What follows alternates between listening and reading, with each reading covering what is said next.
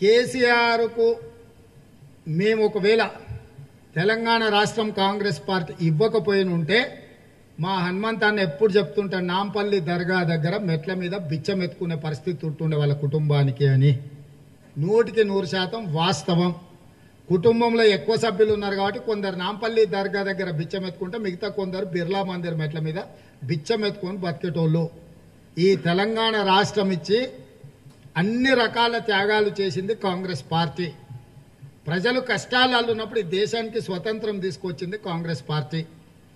ఈ ప్రాంతంలో నాగార్జున సాగర్ శ్రీశైలం జూరాల కల్వకుర్తి భీమా నెట్టంపాడు కోయిల్ సాగరు శ్రీరామ్ సాగర్ లాంటి ప్రాజెక్టులే కాకుండా ఔటర్ రింగ్ రోడ్డు అంతర్జాతీయ airport hitech city metro rail లాంటి పట్టణ ప్రాంతాలలో కూడా అధునాతనమైన అభివృద్ధిని తీసుకొచ్చి మిగులు బడ్జెట్ రాష్ట్రంగా చంద్రశేఖరరావు చేతిలో కాంగ్రెస్ పార్టీ పెట్టింది. ఈ విధానము మరి కేసీఆర్కు ద్రోహం లాకనో కేసీఆర్ను నమ్మినందుకు మమ్మల్ని ద్రోహులు అంటుండో నాకు తెలియదు ఒక్క విషయం మాత్రం వాస్తవం. కేసీఆర్ను నమ్మడం రెండు వేల నాలుగులో కేసీఆర్కు కొన్ని సీట్లు ఇచ్చి పొత్తు పెట్టుకొని ఆ పార్టీ బతకడానికి అవకాశం కల్పించడం కేంద్రంలో కేసీఆర్ను మంత్రిగా చేసి ఒక హోదా కల్పించడం ఒకవేళ ఇదే ద్రోహం అయితే చంద్రశేఖరరావు చెప్పింది నిజమే.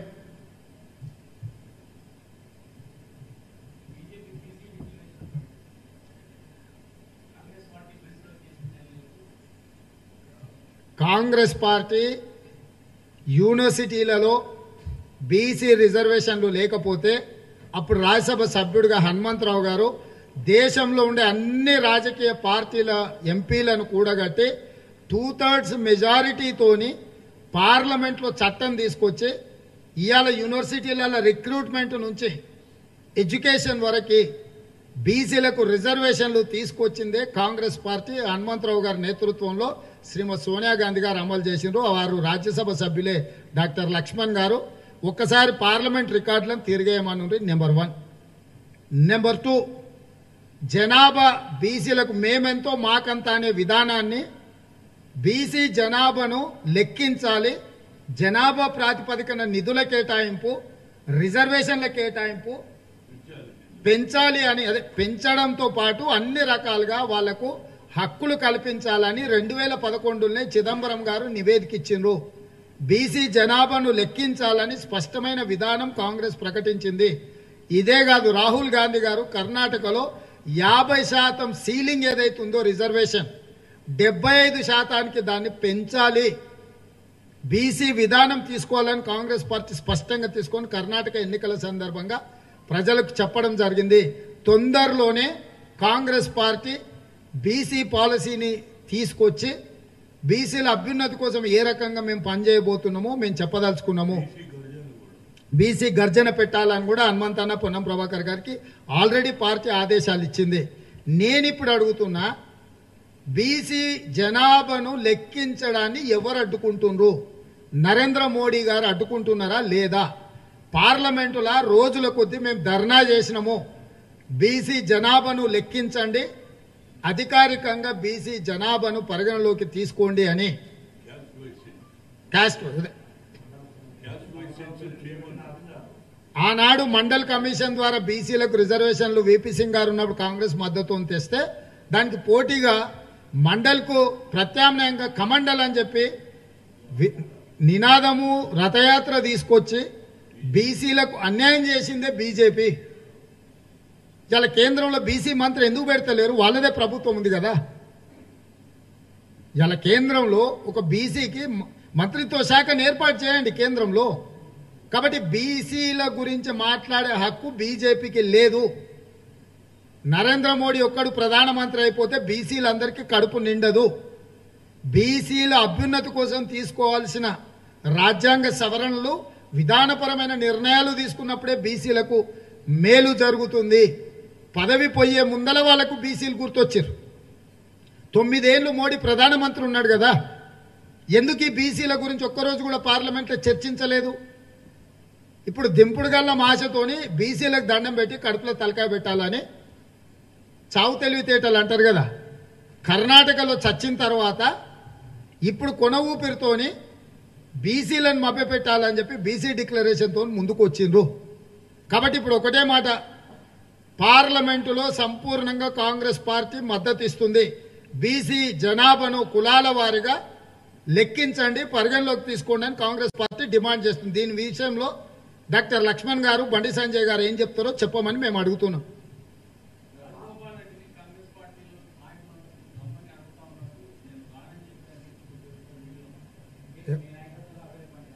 అవునా?